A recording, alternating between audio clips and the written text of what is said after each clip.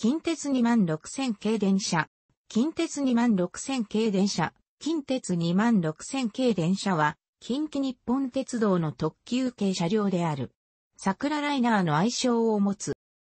解説の便宜上、本校では、吉野向きの先頭車の車両番号、解、フォーメーションイコール編成の略を、編成名として記述する、例、も26,101以下4両編成イコール26,101回。大阪安倍や京都吉野を結ぶ吉野特急は1965年に運転を開始して、1990年で25周年を迎えた。これを機に、さらなる高品質の輸送サービスを提供するために、投入されたのが2万6000系である。車体をはじめ内装は2万1000系、アーバンライナーのデザインを流用するも、アスカ、吉野路を走行するにふさわしい観光的要素で、リファインした。1990年3月15日ダイヤ変更から営業運転を開始した。本系列は車両構造、技術面において過渡期の特急系車両であり、新旧を織り交ぜた構造、機能を多分に有する。つまり、運転台の2ハンドルディスクをはじめ、ドア上部のフリーパターンディスプレイ設置、肘掛け内蔵式の座席テーブル、全消灯の4灯化など、今後のスタンダードとなる装備が採用された一方で、抵抗制御方式とシュリーレン式台車をはじめ、折り戸式客用扉、簡易リクライニング機構や和式トイレ等、特急車両としては本系列をもって採用終了となる装備も多数挙げられ、その意味ではやや中途半端な位置づけとなった。しかし16000系や16010系が長らく球体以前の回転式、クロスシートの上にデッキもない設備であった中で26000系は吉野特急の品質向上に大いに寄与した。1990年にグッドデザイン賞を受賞した。本系列重等の特急列車には近鉄時刻表及び近鉄の駅掲示の時刻表に SL を図案化したロゴタイプを表記する。JTB 時刻表では SL のローマ字を表記する。また、2011年に車体更新を受けた際、普通車1両を特別車両、デラックスカーに変更した。デラックスシートの設定があるため、時刻表にもその案内が追記された。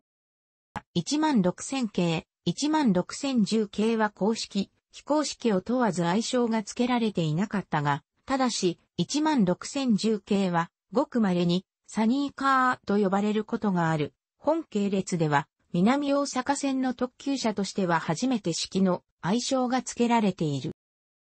電産記号、編成記号は SL を使用する。開発体制は2万1000系と同様とされ、1988年秋から開発を開始、メンバーには2万1000系から引き続いて、手線正道と山内睦平が参加した。南大阪線、吉野線の特徴は、歴史的名所、旧跡が豊富であることで、古墳をはじめ、日本初期の舞台である飛鳥、そして白鳳時代や南北朝時代ゆかりの土地、吉野が沿線に並ぶ。また、沿線は自然にも恵まれており、吉野山の千本桜をはじめ、吉野杉が林立し、他田園や渓谷島、日本の伝統的風景が展開する。そこでこのような路線の特徴を設計に反映させるべく、以下のデザインポリシーを設定した。また、開発にあたっては、桜コンセプト、サイコール爽やか、デザイン、クイコールくつろぎ車内、ライコールラウンド、展望を打ち出して、設計に反映した。なお、26000系は、表向き観光列車であるが、人口密集地帯の南大阪線を走行することから、通勤輸送のニーズにも対応した設計となっている。1990年1月竣工当初から2011年5月まで存在したオリジナルスタイル車両について解説する。車体更新車はリニューアル車の節で解説する。車体断面など主な仕様は2万1000系に準じているが、機関が異なるほか、外観も独自のものとなった。車体幅は標準機系特急車と同様の 2800mm に拡大されている。前面も2万1000系同様の流線型、非貫通式としたが、傾斜角は2万1000系の43度に対して60度と緩やかにし、スピード感を抑えた形状としている。前面窓上には、全消灯として、角型シールドビームを4灯配しており、本系列以降の特急車はこの4灯式前、消灯が採用されている。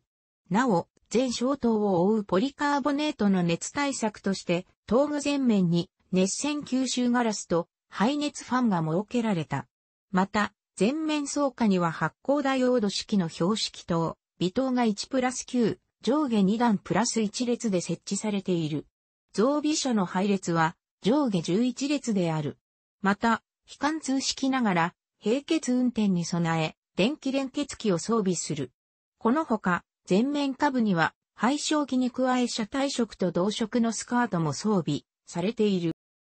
側窓は2万1000系と同構造の外付け式連続窓である。ただし、観光特急として眺望性を優先するため、2万1000経費でプラス 60mm 上下が拡大された。客用扉は、近鉄特急伝統の折戸であるが、採用されるのは本系列が最後となった。客用扉はもう26300型が2箇所、他は1箇所ずつの設置である。また、新しい試みとして、車内販売準備室のあるも26200系の業務用ドアはプラグドアとなっており、機密性に優れ、戸袋不要で車体外反と並活になるなど、今後の特急車のエクステリアを考える上での新しい方向性を与えるものとなった。それから2年後、22000系の客用ドアと正面貫通扉において、プラグドアが実用化されている。車体塗装は日本的美しさの表現をテーマとしてプランニングされた。全体は白を基調に、窓周りを薄墨色、グレーとして、雲海に煙る吉野山のイメージを表現した。車体裾部に、萌え木色の濃淡5色によるグラデーションのラインが引かれ、沿線の環境に溶け込むイメージとした。このグラデーションラインのうち、再下段の緑のみ塗装とし、他は粘着テープによった。さらに、桜ライナーの略称 SL をデザインしたピンクのロゴが車体に付けられている。2万1000系に順次すべての車両が電動車である。主電動機は三菱電機メガバイト -3308A を各社に4機搭載する。運用状況に合わせ、端子電圧 340V 時における1時間定格出力は 95kW に抑えられている。歯車比は標準汽船特急車同様の3.81とした。最高速度は時速 120km。主制御機は2万1000系の三菱電気製に対し、本系列では南大阪線で一般的な日立製作所製の MMC HTB-20 有電動カム軸式抵抗制御機をも26100型も26300型に搭載する。この制御機はパイロットモーター2機で、それぞれ別のカム軸を駆動する二軸操作式で、前回自際集団と弱め開示団との切り替え時の衝動緩和を目的として、ノッチ戻し機構を搭載する。電動車2両を1組として、合計8機の主電動機を1台の主制御機で制御する 1C8M 制御方式を採用しており、主電動機4機2群で直列、並列の接続切り替えを行う。この機能を用い、吉野線では直列弾主体、南大阪線では並列弾主体で運用することにより、トルクが必要な勾配区間と速度が必要な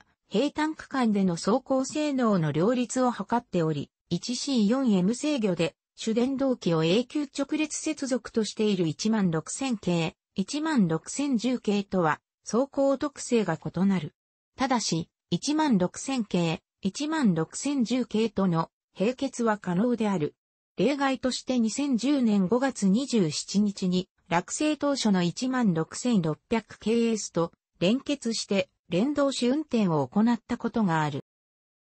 なお、標準機関核専用特急車との相違点として、吉野線の運転条件から弱め開示制御は、低速前進時でも使用できるようにしており、高速運転を行う並列接続時に弱め会、自制御を行う場合には、最弱目自率を32%、低速運転を行う、直列接続時に弱め開示制御を行う場合には、最弱め開示率を27%に、それぞれ設定可能としている。制動装置は HSC、D 発電ブレーキ併用電磁直通ブレーキを搭載。そもそも側ブレーキや大荷重装置も装備する。台車は2万1000系に装着されていた、円筒案内式、シュリーレン式の近畿車用、KD-97 を狂気仕様とした KD-99 ダイレクトマウント式空気バネ台車を採用しており、固定軸距は KD-97 と同様に 2100mm としている。なお、南大阪線、吉野線向け心臓車へのシュリーレン式台車の採用は、本系列が最後となり、以後の新型車では、円筒積層ゴム式軸箱指示機構を備え、ボルスタレス台車へ移行している。また、特急系車両としても本系列で採用終了となり、直後に製造された2万2000系からは同様のボルスタレス台車化された。補助電源は2万1000系と同様に出力70、キロワットの東芝製 DC、DC コンバータを採用し、も26200型、も26400型に搭載される。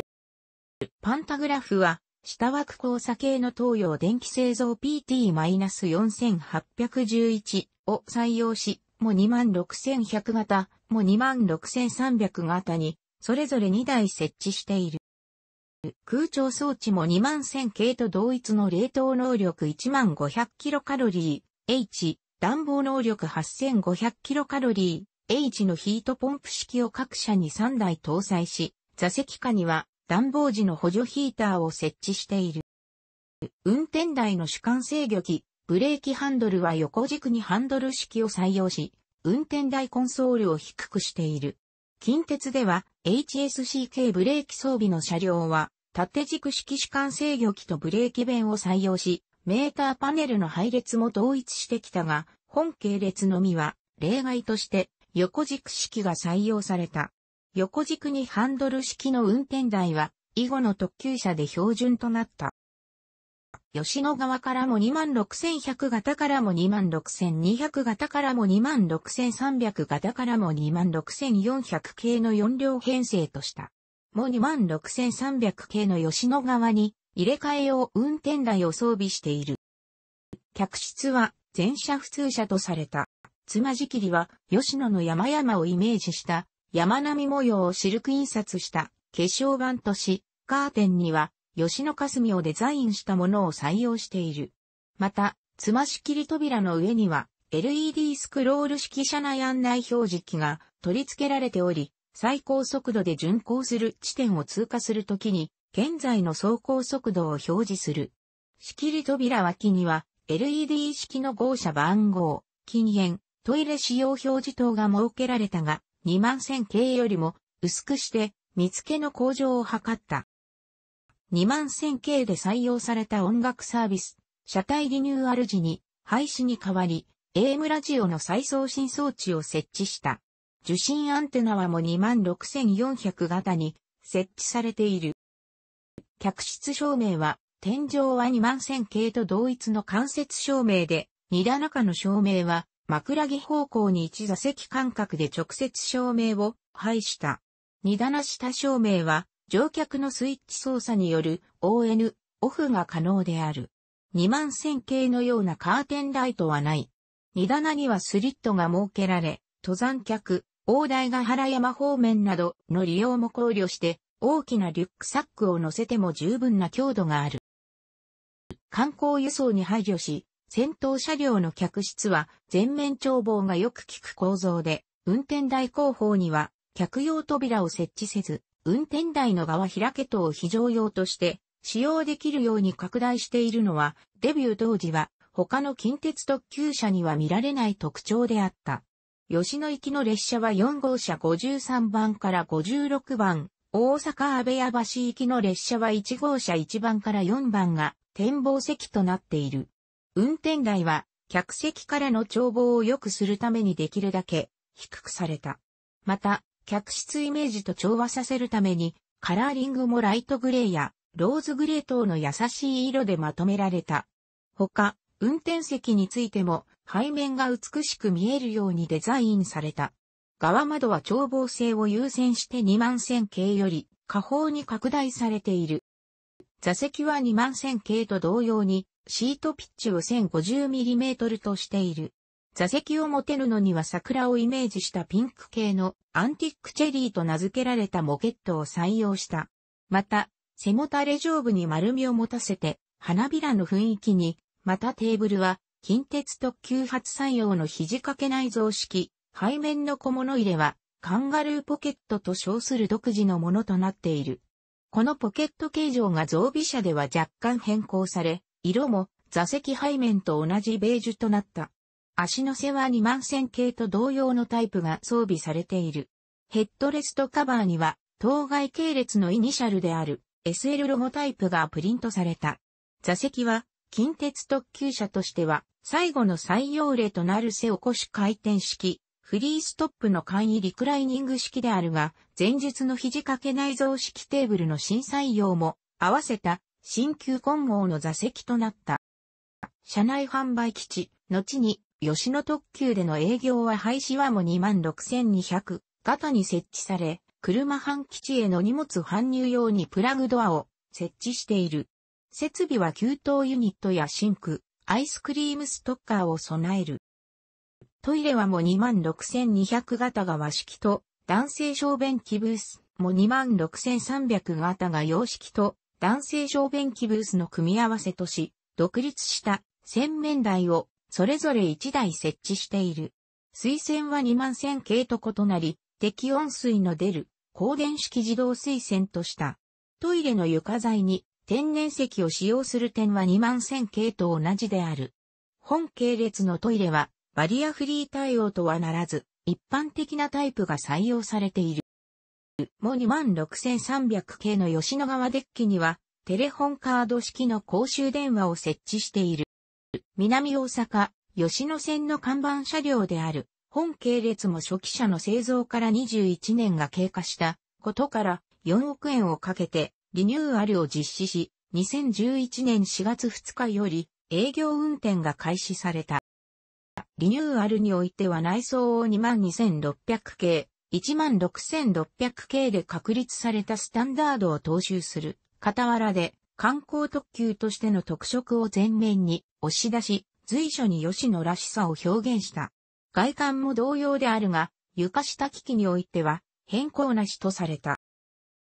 車体塗色は白を基調とすることは、リニューアル前と同様だが、車体裾部のグラデーションは吉野の桜をイメージしたピンク色に変更され、前面は窓周り、全消灯周辺を黒く塗装したデザインとし他、スカートの形状も変更している。ロゴマークはリニューアル前の SL から新たに制定した桜の花びらをイメージしたシンボルマークが貼り付けられている。も26200系3号車はデラックスカーに変更され、メイドイン吉野をテーマとしてデザインされた。荷棚下部に吉野さんヒノキ、照明カバー内部に吉野さんスキ和紙、仕切り扉の合わせガラス内部に吉野さん杉による味ろ組みを使用している。さらに床面全体にはブラウンを基調色とするストライプ入りの絨毯が敷かれている。座席は独立性の高い一人掛け、ゆりかご型リクライニングシートを採用し、通路を挟んで横1プラス2席配置としているが、シートピッチは、レギュラーカーと同じ 1050mm である。その他の3両は、レギュラーカーであり、木目調の壁紙、床材を採用し、座席もリニューアル前の花びらをイメージしたものを継承しつつ、16600系と同様のゆりかご型リクライニングシートに交換した。車内は全車禁煙としたため、も26100系、4号車の大阪阿部や橋側のデッキと客室間に喫煙室が設置された。AC コンセントはデラックスシートが一席ずつ肘掛けに内蔵され、レギュラーシートは座席背面中央に1箇所設置した。も26100系、4号車とも26400系、1号車は運転台後部にデッキが増設され、この部分にはフリーの展望スペースが設置された。これに伴い、座席に座ったままの全面展望は不可能となった。も26300系2号車にはバリアフリー対応設備が集約され、客室の大阪安倍屋教則端部には車椅子対応座席を2席設置し、既存のトイレは車椅子対応の多機能トイレに改修されるとともに、大阪安倍屋橋側の乗降扉はプラグドアに変更された。その他の乗降扉は先頭車運転台後部の増設分も含めて、折戸式である。また、すべてのドアには、ドアチャイムが設置された。3号車にあった、車内販売準備室は、吉野特急においては、車内販売が、すでに廃止されているため、自動販売機コーナーに改造された。トイレはすべて洋式に統一され温水洗浄便座が設置されている。汚物処理方式は真空式に改造されている。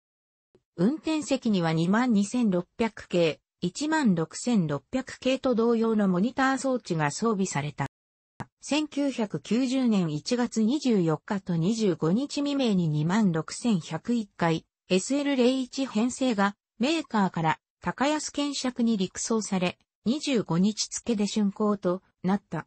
2月9日に五移動研修車庫から柏原神宮前に改装された。同月14日から南大阪線で試運転を開始し、営業運転日までに試乗会、見学会も合わせて実施された。